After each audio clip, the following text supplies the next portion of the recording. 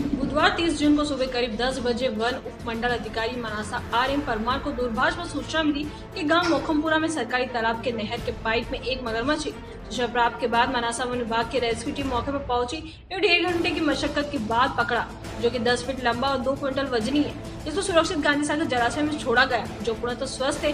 Rescue team में वनरक्षक मिट्टू सिंह चंद्रावत, वाहन चालक प्रेम सिंह गोड़ एवं आत्माराम मीणा का सहयोग रहा।